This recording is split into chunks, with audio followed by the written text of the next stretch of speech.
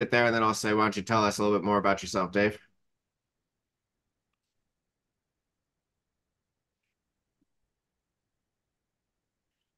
All right. Welcome to the I'm a Practicing Musician podcast, where we explore what it means to be a practicing musician from perspectives spanning music educators to famous musicians. I'm your host, Jake Douglas, and our guest today is practicing musicians WordPress manager, Dave Kabrich. In addition to being one of the tech wizards running our platform, Dave has enjoyed practicing trumpet for most of his life and loves artists such as Herb Alpert and other jazz musicians. You want to tell us a little bit about yourself, Dave? Thanks for being here, first of all, but I'd, I'd love to hear a little bit more about your interests in, in music in particular. Well, thank you for inviting me. I uh, I love music from a little kid. I was a was in a family and uh, I picked up the trumpet when I was a little kid and started playing it and got lessons and played all the way up through uh, high school and somewhat into college and I I just love grabbing the instrument and just making music. Just just doing it for myself. I don't need to have people out in front of me. And uh, you know, like say Herb Alpert Tijuana Brass was the first album, first trumpeter I heard. Uh, it's my brother's uh, album, and uh, I thought that was so cool. That sound of that trumpet, you know, and it just it just hit my ears. And from then on, I was hooked. Uh, I love uh, Maynard Ferguson and uh, Arturo uh, Sandoval. I can't pronounce his last name. Everybody knows him. And uh, you know Al Hirt and Dizzy Gillespie and and Louis Armstrong. Uh, Chuck Mangione changed my life. Uh, got me to buy a flugelhorn. and uh, interesting story about that flugelhorn. I bought it. Uh, I was probably 16 at the time, and uh, I was I was in the I was getting lessons from uh, our band instructor Dave Aaron. He used to play for the big bands and jazz bands and stuff. And uh, I told him I wanted a flugelhorn. He goes, "Let me find you one." And uh, he goes, "Olds may have one left." I said, "How much is it?" He goes, five, six hundred bucks. I can't remember. It was a lot of money back then in the seventies. And I said, "Well, I've saved up this much. Here's how much I got. See if you can find me one." And he, uh, about a month later, I get this uh, Olds flugelhorn, according to be the last one that was in the warehouse, supposedly. And uh, I started playing it, loved it. Uh, a lot of people say that a trumpet is your wife, your flugelhorn is your mistress. Well, I wore my mistress out. Uh, yeah. It, it, it, I wore the valves out in it. I played it so much.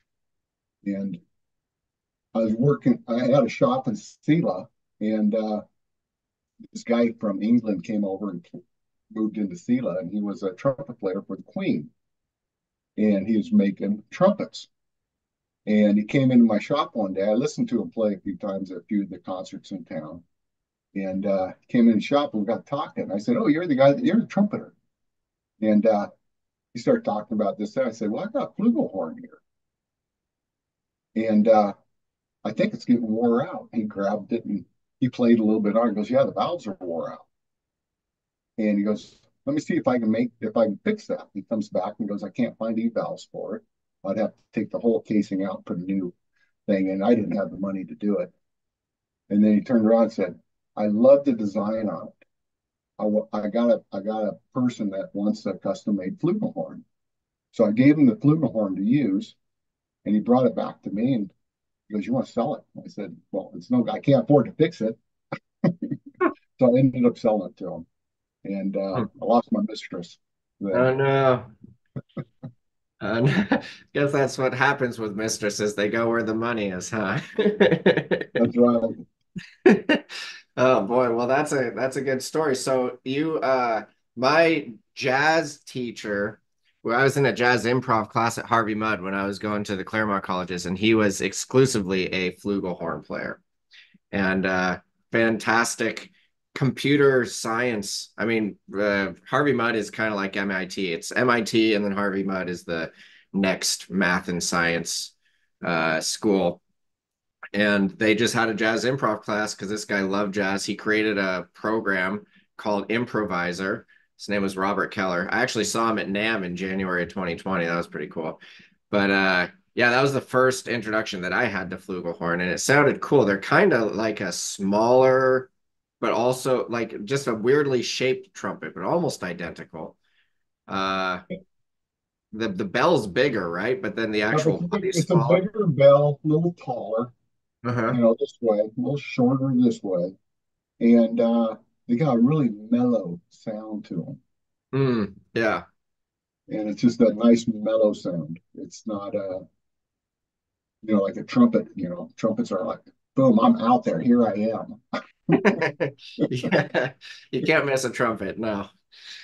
That's for sure. So so jazz is your primary uh preference, I guess, for music? Yeah, I love I love I love jazz. I love small band jazz. Small band jazz. Okay. So yeah, two or three trumpets, a couple couple saxophones, uh set of drums, uh, you know, got piano, that's fine. Got to have the bass guitar, you know, the walking bass. Very nice. Yeah, I love the walking bass. Our upright bass teacher was uh, the he toured with the uh, National Park Centennial Jazz Band for a while. He's in a bunch of jazz groups around here. And he's I actually just saw a post from him on Facebook this morning. He's moving out to New York City to continue working with Paula Boggs Big Band and a few other groups, but he's also into hip hop and funk and whatnot. That walking bass line is so cool. I love it. So, in your opinion, what what do you think? Uh, being a practicing musician for as long as you have been, what do you think that term means? What does it mean to be a practicing musician? Oh, I, I don't know. I, you know, a lot of people say, well, well, you got to practice to, you know, be good at your craft, mm-hmm. which would be, you know, I was a trumpet player, and uh, but I practice because I love the sound and it's emotional for me.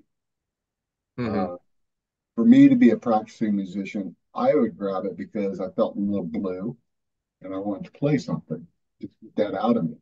Or I was happy, I wanted to grab it and just play. You know, I I just love grab grabbing my instrument and just playing. And, yeah. You know, I did a lot of studying and a lot of you know, I would grab buy books and you know learn how to play different songs and different different melodies and you know, of course, I played in the orchestra band and I played in the concert band and I played in the stage band and uh, you know that's great stuff. Gets your mind going back and forth and gets your senses going. It just kind of wakens you up. Mm-hmm. But uh, be a practicing musician, I think I, I don't know, it's just part of my life. Just practice playing my instrument has been part of my life all my life because it's kind of like something safe I can just go to and just play.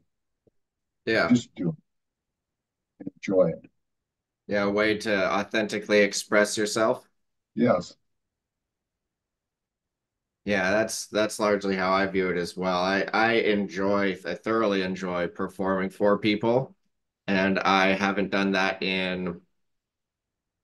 Well, I was going to some improv nights Mondays at the Nectar Lounge at, called Mojam Mondays. Phenomenal setup that has been going on for I guess 11 years as of December every Monday. It's it's amazing, but I haven't even done that in a year and a half, and I haven't performed with a group since before the pandemic. But I still play my drum set every night, one to two hours every night and it's just it keeps me grounded and i get to process everything that i've done through the day while simultaneously working towards some new skill set and seeing a little bit of personal evolution each time i sit down at the kit so it's uh it's wonderful i think it's also taught me how to connect with people a bit better than i would have uh would know how to do without playing music do you have you had any experience like that well, I think music is is a connecting force. It's a it's an art form that everybody can relate to one way or the other.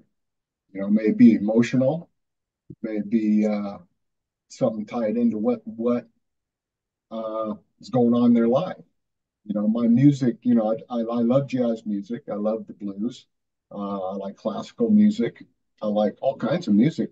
But a lot of it has to do with where I'm sitting at at that point in time in life. Hmm.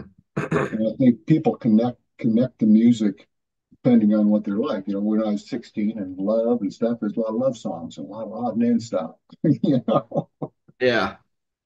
it's uh, you know, and if uh, I'm in a bad mood, it's a lot of a lot of bad, you know, mellow stuff, blues stuff. You know, sometimes it's just kind of like, you know, you listen to a little Albert King, uh, you know, Yeah. blues or uh, uh,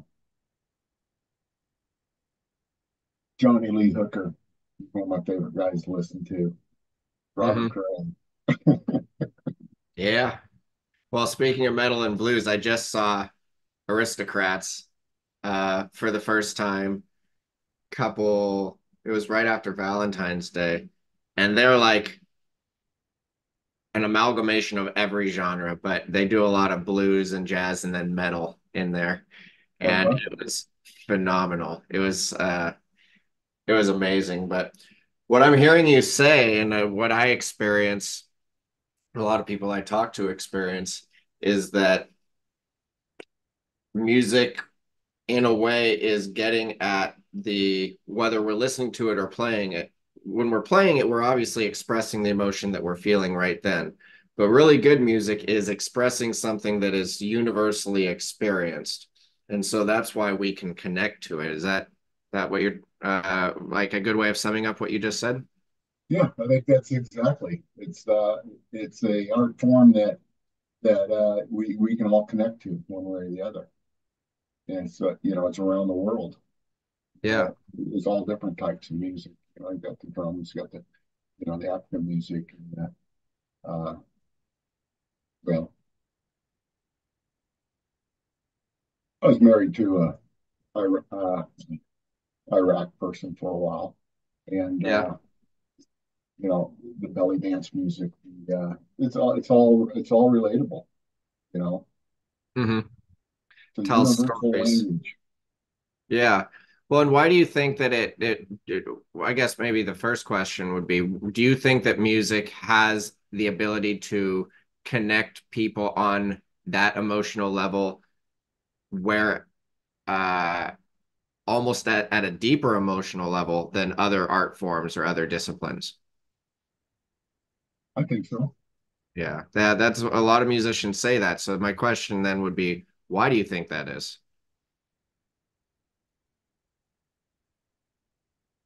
Rhythm, rhythm of life.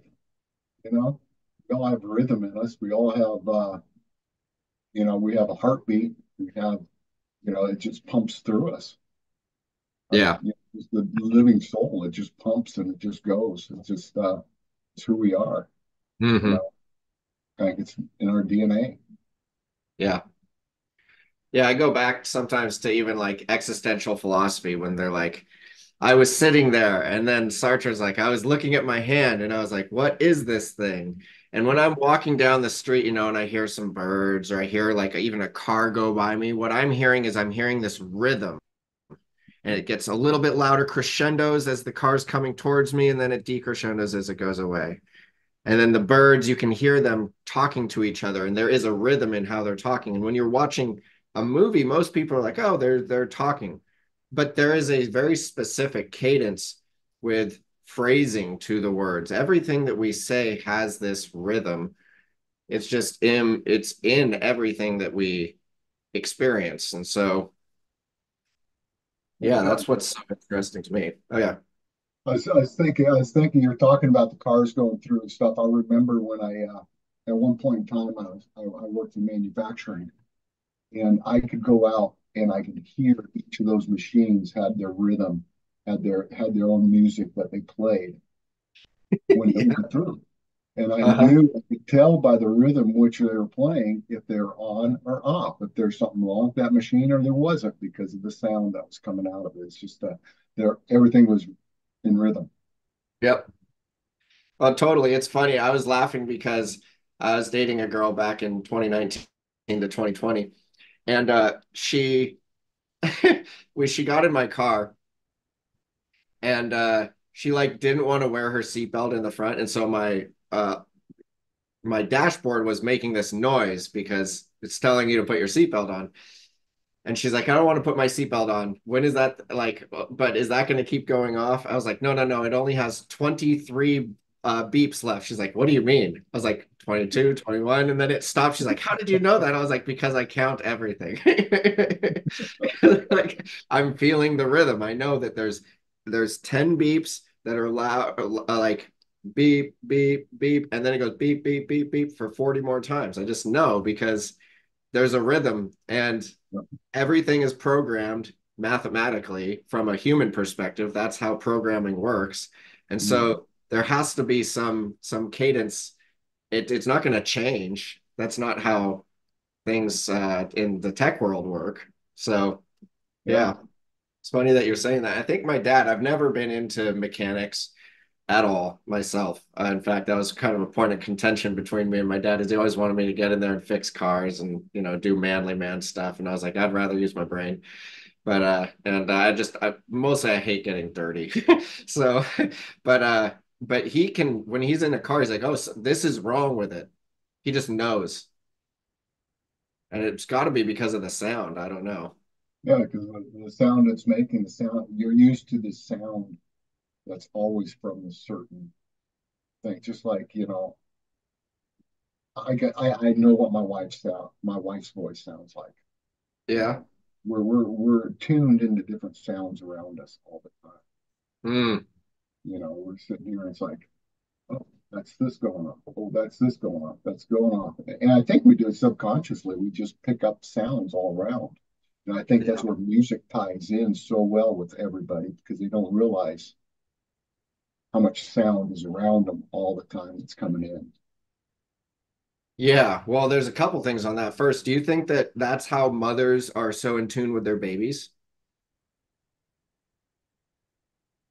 It's not even necessarily conscious, it's just that there's some connection to these rhythms and something something's off or this cry means this thing and like yep. us as men we're like I don't know. yeah.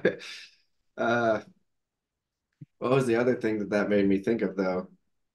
Um,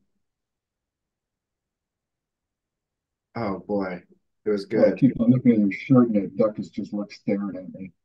Yeah, I know, right? He's wearing a raincoat. no, this this band is great. It's uh, another interesting way of using rhythms uh, and I posted this in the water cooler chat before I went to see it, but they played that song where they pull out a rubber chicken and a rubber pig, and mm-hmm. they're like playing, and then they start doing wah, wah, wink, wink. and then they're they're making different like wink, and then they're playing off of each other, trying to match the rhythms between these uh, fake animals. It was great. So yeah, I think rhythm can be everywhere. Um, that's where I was going to go. So before you became a WordPress manager, you were working in a shop somewhere, right? Can you tell me a little bit about that? Uh, my generator shop. the what? The generator shop or which shop? I've, well, I've done a lot of things over my years of life.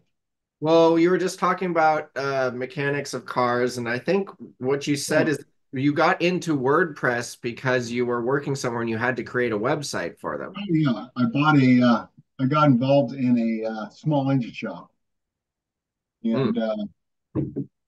I knew that the I knew the internet was coming. I knew it was there. That's uh, I, and I knew that the business in town would not suffice for what I needed.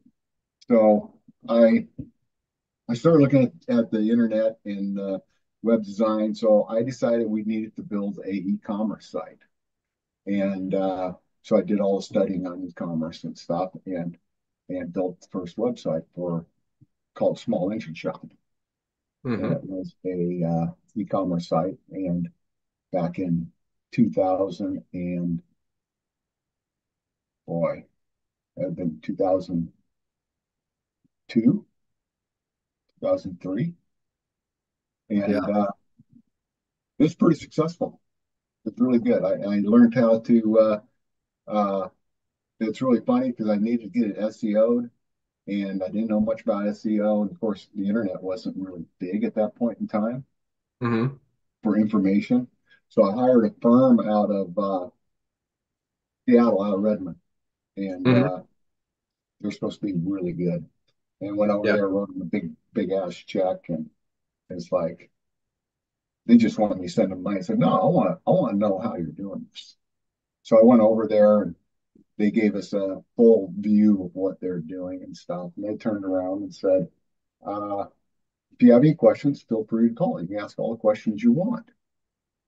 So I started watching it, and it's like, okay, how are they doing it? So I'd, I'd be on the phone with them two, three times a week, asking questions how they're doing stuff. And I was so fascinated on the methods of getting a website up on top. Mm-hmm. And so after about a year or so, paying them the monthly fee, I canceled it and I started doing the SEOing. And I had so much fun because it's like I'd take a page that was at the bottom and I'm having all this big competition up there. And I would go in there and SEO it and do do what I was supposed to do to it, make it better, make it make it more plausible questions and what people wanted and this, that, and everything. And I was getting my pages above pages that were out there for a long time, up on top. And Rock like, you know, that's and, and, and, you know that, that's kind of like the trumpet player in me. You know, it's like I'm a I'm an introvert. When you Mm-hmm. get a trumpet in front of me and the stage in front of me, it's like I'm going to be heard, Yeah. be out front. Yeah. And uh, that's the same thing with SEO. I sit there and I say, okay, who's up there? I'm Mm-hmm. going to them. I'm going to be, we're going to be louder. We're going to be better. We're going to be on top. Yeah. No, I think that's key. And and something I'm hearing from what from that story is that which a lot of people don't do. And it would be I think society would be a lot better place if more people did this. But you saw something that was interesting to you, and instead of just having somebody else do it, you went and asked them a lot of questions about how to do it. That's what music has really taught me is music is such a community oriented uh, activity that I mean, most of the time I'm playing with people 10, 20, 30 years older than me, and they have Mhm. way more experience. And they see, they wouldn't be playing with me if they didn't see something in me or whatnot. But part of that, what I've come to realize, what they see in me is that I ask them questions. I so I'm I'm trying to learn from them, and I'm open to that, and that's really turning my whole life into a musical journey because now it's paying attention to, you know, don't know how like woo woo we want to get into it, but like it's paying attention to the harmony and and trying to make my own world more hom harmonious in a greater number of situations. And uh and so that's amazing that you did it. Do you think that uh playing it's well you just I said it to a degree, but do you think that playing music and playing trumpet taught you that skill set? Well, yeah, because I, I had to, I had to ask a lot of questions to learn how to play. I Yeah. was not a, I was not a natural born player. hmm Uh, I am a, uh, everything I did in music, I had, I had big, big struggle. Uh, you take a look at like my daughter, she plays, she started out playing trumpet, then played the trombone, plays the, played the violin. Now she has a cello. She loves playing the cello. She, she can take, pick up an instrument and just, it's like, it becomes part of her. Mm. Me, I pick up an instrument, I've got to go, okay, how do you play this? How do you hold your lips? How do you do this? How do you do that? How do you do this? And that's the way my whole struggle for playing trumpet was. hmm The only way I can excel is by playing a lot, Mm. practicing a lot, and asking, asking, hey, how do you do that? That uh, how do you get up to those super high notes? Because every trumpet player wants to know how to do that, Yeah. you know. And how do you stay up there without killing your lips or your embouchure, you know? Yeah. And there's ways to do it. But when, once you start asking questions, it's like life. How do you do life? If you start asking a question, if you think you know it all, you're never going to grow. Yeah. Yeah, it's very true. You know, it's uh, contempt before investigation. I guess it's called prejudice. You know, we're prejudiced about so many things in life because we think it's like like you say, it's set in our mind to know something, and we just don't want to ask any questions about it. hmm if we start asking questions and listening and learning, we get we get to be wiser and smarter over the time. If we don't ask questions, we might as well just die. Yeah. Well, and in in music, I've found more so than in other communities, people are willing to answer the questions honestly. hmm A lot of other places, like what we were dealing with with GoDaddy yesterday, that was crazy because we're we they switched the DNS, the way that our domain points to our website. So our website went down. They did it without our permission. I called them and they said, "Well, it wasn't us because we need your permission to do this." And I'm like, "So you're telling me that I did this?" And she's like, "Well, let me go talk to my manager." And the manager's like, "Yes, we're telling you that we couldn't have done this because we didn't have your permission." I'm like, I guarantee I didn't do this. And so in the business world, though, the whole point, uh, at least in some companies, is to maximize profit. And in maximizing profit, you have to make concessions in uh, creating harmony and admitting when things are not uh, done the way that they should have been done. And uh and that that's unfortunate. So that's what I find about the not not that you should be around people to use them and just get as much information as possible, but that that you you should also share. I mean, this is part of the harmony is also like I don't mind talking with anybody and sharing any information that they ask for because I strongly believe that well, I'll just I'll just I guess lay it out a little bit. I strongly believe that if if we have free will which we do, the only way to truly have free will, because will implies that we meant to do something. So if we don't understand that we are causing some effect, then we didn't will it. And so if we don't, if we aren't educated, then we are just ignorant and we're causing all of these uh, effects without understanding that we're causing them. So education, that's why I got into education, and that's why I'm doing practicing musician and all of the Open Learn X and a bunch of other projects that I've got going on because man, there's we we don't teach common sense. We don't teach these things in school, and uh, we're teaching people how to fit into this machine that a lot of times doesn't uh, isn't conducive to growth of the individual. But music, I've almost never met a person in the music community that has like is like keeping their information to themselves. That's what I love about it. Yeah, And I love I love the way the platform is set up too. You know, and it's the uh, you know, when you asked me when I was originally asked to come on board or say, hey, what do you think about this? And I looked at it, I went through the lessons, and it just blew my mind. It's like, this is so cool. Little little, short blurbs on how to do this and this, that, and everything. The videos there. It's just like, boom. It's just like these guys are on to something.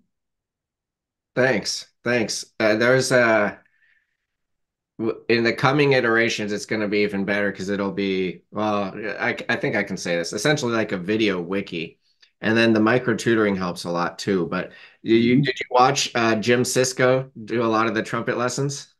I did. Yeah, he's phenomenal, huh? He's very good. Yeah. It's very Yeah, precise, very, very uh technique oriented, oriented and it's uh yeah, it, it is it is like boy, all you have to people can do this and they yeah, can learn they can learn to play music and once you learn to play music, it's with you for your whole life. yeah. You view you view everything differently too, not just the music. Yeah, You view the uh you know, you play music, you understand the artist more. You understand what they go through. hmm People listen to music and it's like, oh, this is a great tune, this is a great tune, this is a great tune. But when you start listening to you know, and you performed and you know what emotions are going into that music and and playing, you have a different appreciation for it, I guess. Totally. Well, and and one of the things that you said earlier is exactly why we set it up the way that we set it up, which is there is I don't know if it's a stigma or a mindset that I can only play music if I have natural talent or if I want to like do it as a career or want to become famous, right? And this happened in my family. My family even said it's not a good career option. My family are all doctors. They said, we don't want you to go to school for music because you're not going to make good enough money, essentially, from doing that. And I was like, okay. So I went to college uh, at Pitzer because they had a pre med doctorate of osteopathy program.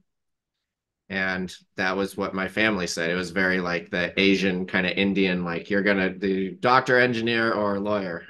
It's like that kind of thing.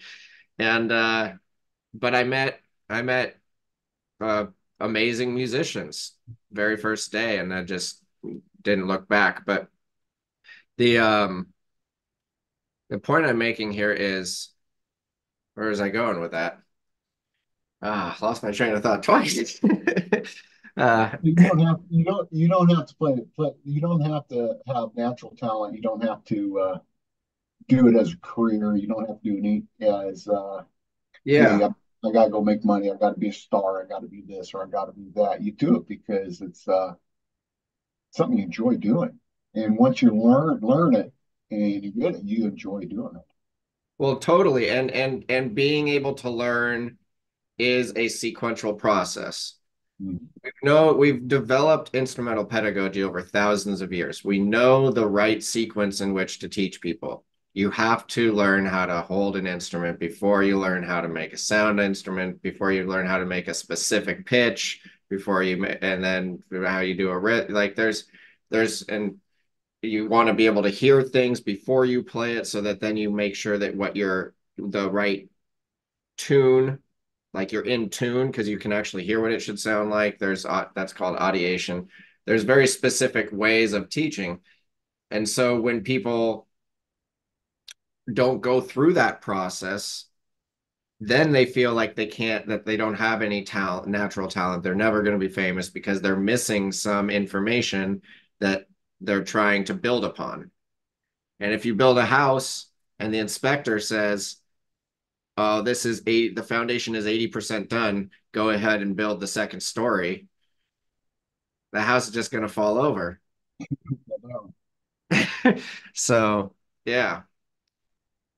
It's good that I, uh, I, I get, I get the, I get the, I get at practicing musician. I, I do a lot of different things. I, I, I, you know, work on the website and make sure it runs and, and make sure things run smooth. And I get, to, I get to post the blogs.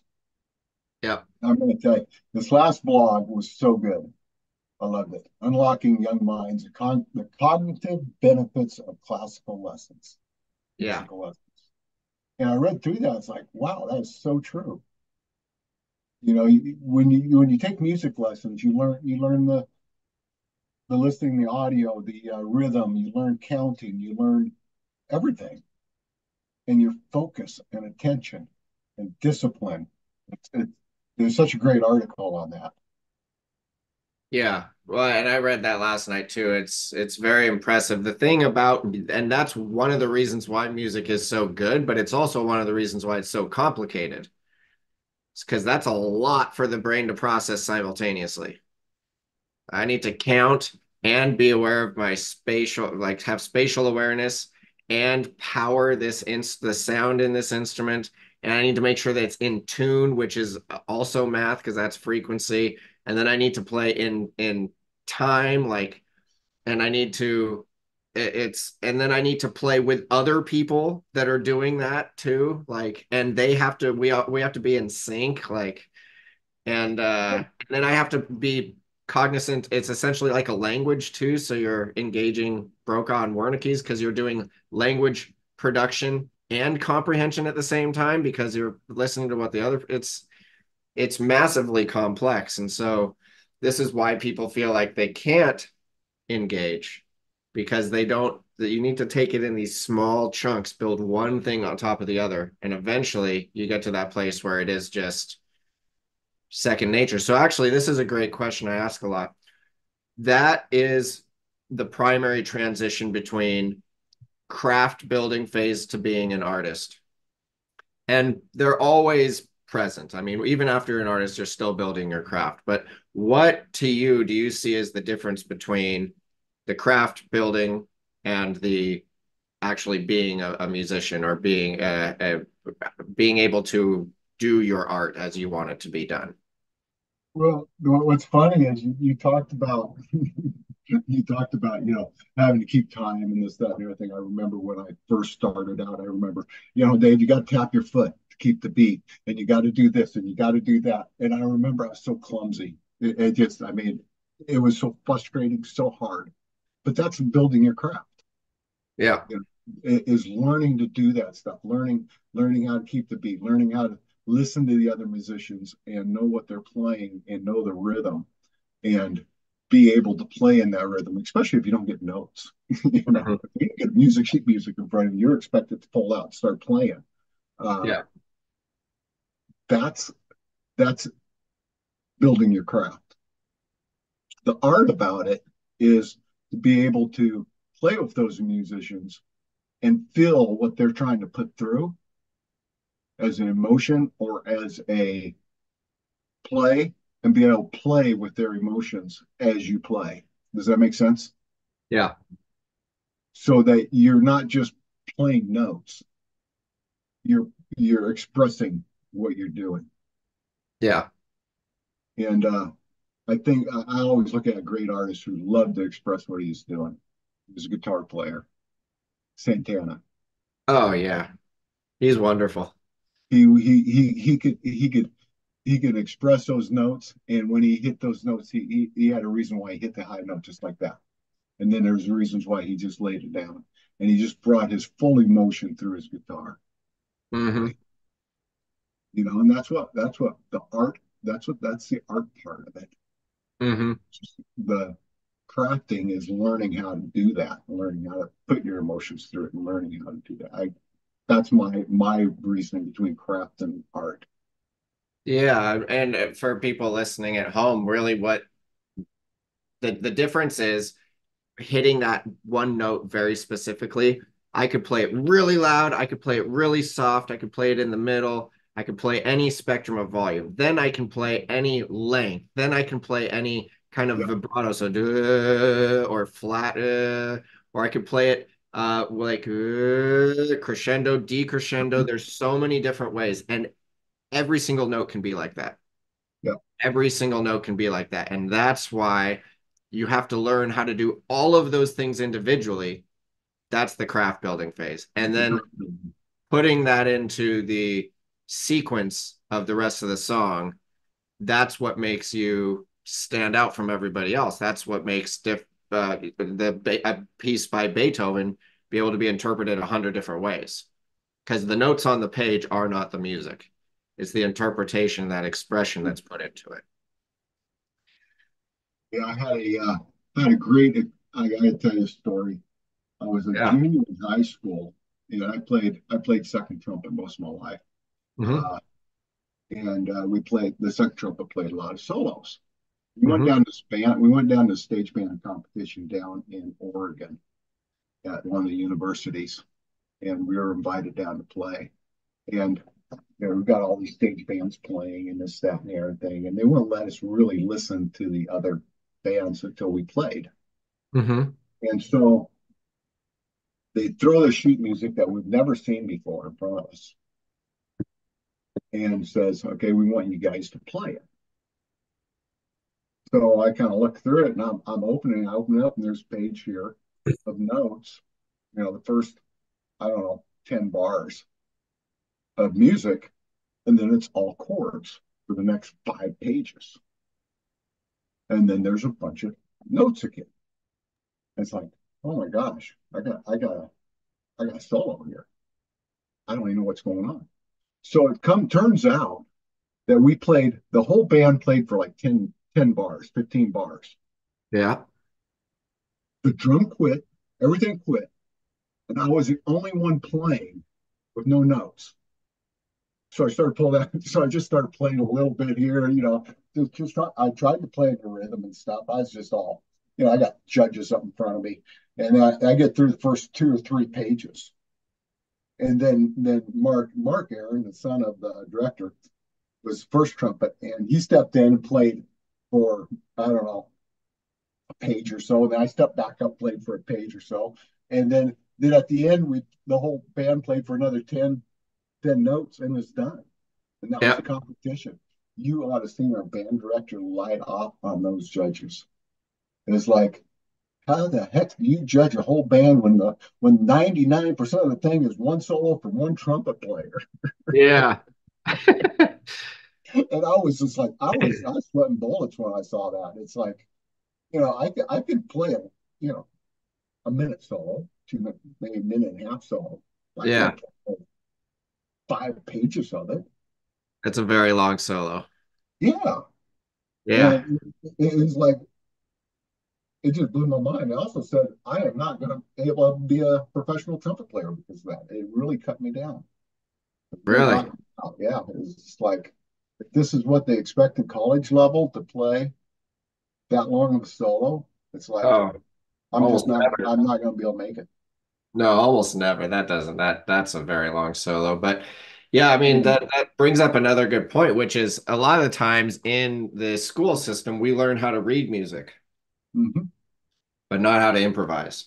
And that improvisation is really a component of what's actually happening inside at that moment. It's a different different type of expression. And um, you know, I've got funny stories about I got a funny story I can share with you right now about that because I grew up playing classical flute through the Suzuki method, 4 to age 15. Went into saxophone uh, because I was much more proficient at my instrument at flute by the time the elementary school concert band started. So I needed to play a different instrument. Then took piano lessons, then got on a drum kit. And drum kit, I never took lessons, so I almost exclusively play by ear. I can read music now, but um, fast forward till it was 2015. This is actually the last day that I drank or smoked weed and smoked cigarettes. This is the last day I did anything like that. I was um I was at a bar, dive bar, playing music, and this guy came in and I knew all the bartenders. I went to school with all of them, and they said uh, he was asking for somebody who plays woodwinds, and they're like, "Oh, well, this guy plays flute. He's up there playing drums, but he plays flute." So he came over and asked me if I'd play a show with them at this uh, casino that was closing down. I was like, "Okay." And it turns out that they're all like Motown session musicians. Literally, mm-hmm. were in the Motown scene. Like they're in their 60s, 70s, 80s, and they're just phenomenal musicians. And I'm some white dude playing flute. like there's not very much flute on Motown, but they that's what they wanted me to do. So I was like, okay. So I practiced with them twice. I learned two and a half hours worth of material. And I was like, good, I'm ready to play this show. We get there and they started changing the keys and I am classically trained, so I can play based off of music. Uh-huh. And I cannot transpose from one key to the next. so for two and a half hours, they're playing, and I'm just like, is this the right note? Like, is it, am I in the right? Like, I'm just trying to figure it out. And then they had me take some solos, and I'm like, toot, uh, toot. the worst performance I've ever done. And then mm. afterwards, they're like, yeah, good job. I was like, well, you didn't tell me we were gonna play. I practiced in the keys that we were practicing in, and uh, but that was the day I was like, okay, there's much more to this music thing than I even knew, and so I was like, I I gotta get. Uh, I'm I'm ready to to stop drinking and smoking and take this very very seriously and learn how to do all this stuff because it's a completely different area of the brain to sight read than it is to like read music than it is to improvise than it is to create your own music um, have you done much composition? Uh, probably not. Probably not. So you, when you were playing, you were primarily playing other people's music? Uh, yes. But when I played by myself, I made my own music up. Nice. so that was that was more improvisational. Yeah. Yeah. And uh, with I studied when I studied with uh, Dave Aaron those few years, that's what we that's what we played. He was a jazz band player, so it was mostly improv improv jazz. Yeah. So we'd flip something on after a while. We'd flip something on. We'd both play, and without music. Mm-hmm. Well, and, well, an improvisational jazz is almost once you learn how to do it, because that's what I did in in college at Harvey Mudd. It's to a degree formulaic because you have 16, 8, 32 bars, whatever it might be, and then you have the the chord progression that you're soloing over. But it's not just completely free form, although some just jazz does sound like that. But you know, and talk a little bit about how you how you can know what to play within the context of what the other musicians are playing. And, that's what it is. It's, it's like what, what kind of rhythm, what kind of emotion, what kind of feeling are they putting into it? And that's what that's what I'm going to play is something that's going to relate to it. If they're if they're playing something really, you know, sassy at me, I'm going to sassy back to them. You know, Yeah. if they're going to play something, oh, it's like I might play something sassy to reply back to them. So it's kind of almost like a conversation going on. Mm-hmm. Does that make sense? Oh, totally. So that that's that's what I learned to play in jazz. Yeah. You know, we you you play well, yeah. It's like you know, listen to Miles Davis. He he plays great. Uh, a great trumpet in that area. You know, he'll play really low and this, that, and smooth, and this, and all of a sudden he'll just start going up, up, up, up. You know, start start making remarks like he's talking, and then Mhm. then he'll go into other areas, and uh, that's fun. Yeah. It, I mean, it's uh the conversation piece is really important because in improvisation, one of the things that helped me most was when I forget who told me this, but they essentially just said, sell it. Even if you make a wrong note, sell it. Nobody's gonna know, or they'll they'll think that you're being an artist or whatever. And so, you mm. know, just just don't stop. Keep just sell it and be confident. And then, you know, it, that's that's helped me in life too, because it's like sometimes it's like that whole fake it to make it ethos. Mhm. Like I don't really know what I'm doing yet, but if I say it confidently enough, then people kind of like, wait, is this this? I mean, it sounds like he knows what he's talking about. He must know what he's talking about. Yeah. Yeah. And then eventually you do know what you're talking about. Yeah. So Yeah, that was uh that was a big part of uh you know solos and stuff when I played the trumpet is like just to do it. Just do it. yeah. Doesn't matter if you mess up or not, they won't know. Yeah. Play something, make it sound good, and make it and make it relating to what the piece is. It's Totally. like uh, I played I played Hello Dolly and uh Who's that? big solo in Hello Dolly for me. Okay. And, and the guy introduced me, goes, We you know, we don't have Louis Arms, we don't have Sa- Satchmo or Louis Armstrong here, but we do have David Kabrich. And and so they started playing, and next thing you know, I'm playing. And it's like, oh shit. I'm not playing, I'm not playing the right right notes, but it sounded good, so I just kept on playing. And everybody loved it. It's like it wasn't supposed it wasn't supposed to be like that. Yeah. But you sold, I sold it. Hmm Of course, I had my my my uh, snazzy shirt on, you know, my, my Blue shirt. you know. I Yeah. had to play the part. Yeah. Yeah, no, I think that's really important. So this this gets to a question I like asking a lot because one of the things people like there's various reasons to start playing an instrument, but to perform is very anxiety uh ridden for a lot of people. So what do you first of all, what are some of the like really terrible experiences that you've had on stage? And then how have you overcome those as a musician to continue performing? Well, my worst experience in my life was down there at that uh that uh I don't know that contest down in Oregon.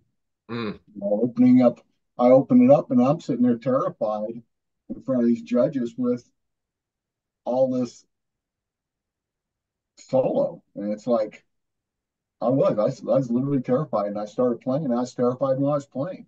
It, it showed. And it, it, it, it scared me. You know, I don't know if scared me, but I just knew at that point in time I wasn't going to be a professional player. But yet, on the other hand, I loved playing. So, mm-hmm. so next time I got up, I, I just played best I could play. Yeah. And, but yeah, that was the uh, most terrifying moment in my life playing trumpet. yeah. Well, and that I mean, it's frightening to get up there and play by yourself. That's and even if like you're saying trumpet, you're right. It's very like in your face. It's loud. It's we want the spotlight. So playing trumpet in a jazz band, you still get a lot of spotlight, even though there's a bunch of other musicians playing. But there's a lot of other performance opportunities where being second chair trumpet or fourth or fifth or sixth chair trumpet with a whole bunch of other instrument sections playing around you, where it's like, okay, I can perform and and start build or playing in a small setting with just a few people and building up to bigger and bigger audiences. These are ways to really practice uh, getting overcoming that anxiety and really what I do is channel the anxiety into the expression that I'm able to have from moment to moment in my experiences. But uh, what do you think about that? I think it's great. I uh, I agree with you on that. A person can do it, and it takes time. I don't care whatever. There, there's when you go go to perform, and I haven't performed in front of people for years, uh, but I always remember the anxiety the excitement and the fun. It's like I gotta walk through this. I have to do it because I know it's going to be good. But it scares the living crud out of you. you yeah. It really does. It's like you're sitting there going, all these people, all these people are going to be watching. They're going to hear, you know, this, that, and the other thing. And, uh, you know, and you're sitting there, and then all of a sudden you start doing it. It's like, oh, this is great. I love mm-hmm. it. And next thing you know, you're just doing it. Yeah. Well, so what advice would you give to someone just starting their journey as a practicing musician? Practice, practice, practice, and have fun. Have fun. That's the biggest thing. Enjoy yeah. And uh, you'll find out that you can go in your own little world. At least I could. I'll grab my trumpet or my flugelhorn, and I could just go in my own little world, just disappear for an hour, two hours, mm-hmm. and just just play and have fun. Yeah. Yeah, That's, I mean we got we got our practice, practice, practice. Yep. Yeah. That's the key. And you don't think it's practice once once you start having fun doing it. I never thought of it as practice always thought of it as this is fun to do. Oh, it's just like you know, a lot of people, oh, I'm taking up the hobby of golf. Well, yeah. you got to practice, practice, practice, be good. Well, why do you practice? Well, because you enjoy it. Yeah. Well, and I mean, it isn't like, oh, you got to play this. That, that, that, I'm no good at. That. No, you practice, you get better. When you get better, it gets funner and funner, and the better you get, the funner it is. Oh, totally. That's, I mean, people don't realize this, but you can go to school as long as you want to become a doctor, do all the PhD and all the two to nine years of residency. And then what do you do? You go and you practice medicine. And what do you do if you become a lawyer? You get your JD, you go and you have your practice. Yep. That's what you do. Have fun um, your practice. Short not to. yeah yeah, nobody really knows what they're doing. You know, there's people that have a better idea of what they're doing than others. And, uh, but it's the same thing. I mean, even if I, I, because I grew up in a family of doctors, I use a lot of medical terminology when describing musical processes. And from a, a medical perspective, what they're doing is diagnosing, which is a Greek etymological root of gnosis, which actually is kind of heretical in Christianity, but gnosis literally just means knowledge through spiritual experience. That's the literal translation. And uh, So dia means through way of. So when you're diagnosing something, you're you're going through knowledge of spiritual experience to be able to tell somebody what the issue is. And this is what I do when I'm playing music. The more experience that you have through your practice, then the more that you can diagnose from moment to moment what remedy, what minor spatial change you need to make, what minor thought you need to remove or or focus on in order to be more present. Um, I mean, I could talk about this, the spiritual nature of so, the music for a long time, but let me ask you this. Mm-hmm. So you're saying more more you do it, the more you realize you're more in tune with it. So does that make you want to do it more and enjoy it more? Yes, it does. And this is the paradox of freedom because people say, oh, well, that person spends all their time doing this one thing. And what they don't realize is that that one thing is expanding in their consciousness. So they are becoming more and more free within their discipline or their art form. Whereas there's the the paradox is I want to have more freedom to do more of what I want, but then you get less and less proficient. You you can you, it's because we are time bound sentient beings, we can become less proficient at each thing that we do, the more things that we want to do. So we got to choose. And uh, there's a large spectrum of what where you want to be in every place. But do I want to focus my attention on becoming more free in this discipline, or do I want to focus my attention on becoming more free in uh, diverse experiences that are multidisciplinary? And you know, so that's that's kind of the the paradox everybody has to live with and choose from. And that's definitely not taught in schools, which is why I'm so passionate about doing what I'm doing. The big thing is you got to enjoy it. You know, people go, well, I want to learn how to do, I want to do this, I want to do this, I want to do this. Question is, do you really enjoy it? Is it worth it? Is it worth yeah. putting effort into it? Mm-hmm. Uh, you know, as I gotten older, I found out I cut out a lot of things in life. You know, I don't, I don't snow ski like I used to. I don't water ski much. Uh, mm-hmm. I don't, I don't do a lot of outside sports like I yeah. used to because I focus more on the things that I get more enjoyment out of. Yeah. And and and it seems like the more I focus on those things, the more enjoyment I get out of it. Well, it's it's totally that's true. And even from the perspective of looking at a master gardener or like a, a Zen master with his bonsai tree, those mm-hmm. things live a long time. They're super tiny, and what they're doing is they're trimming off these little tiny dead parts so that then the rest of it can have more life. And that's what you do with uh, growing any fruit or vegetable. You have to trim off the dead leaves so that then the energy isn't going into fruitless efforts. It's putting all its energy into the actual fruit that then you can reap yourself. And so that's uh so I I mean I personally have chosen the path of get diving very deep into a few things um, but there's a lot of people that that see that as a prison, and uh, you know, it's just it's it's that transcendental realization of the paradox, and then that's what sets you free, really, in my opinion. So. Yeah, it's cool. So, Dave, uh, we got uh, just a minute left here. Um, I really want to thank you for coming on the podcast uh, and talking about your experience both in music uh, B, why you got involved with practicing musician, what you like, uh, how music relates to other things that you've done in your life, such as technology and uh, cars and, and different different things that we've discussed. Um, is there anything you'd like to say to close out the podcast today? Well, thanks for having me. Uh, you know, I, I just know that rhythm and sound and music is a part of life. Mm-hmm. The more you open your mind up to it, the more you're going to enjoy life as it is because there's sound and music coming from everything. Like we talked about cars going by, birds singing, machinery going this way. Uh, and there's music in everything that goes. Everything has a rhythm to it in life. And, uh, you know, music is the way we express express our emotions a lot of times or yeah. sometimes. Yeah, well, thank you. Yeah, no, I, I, agree completely. And I'd love to have you come back sometime. We'll talk more about this uh, And I uh, really have enjoyed working with you and look forward to what we're going to be creating together so that more people can access music. So thank you for being on our team and uh, and coming and talking with me today. Thank you for having me. All right. Bye.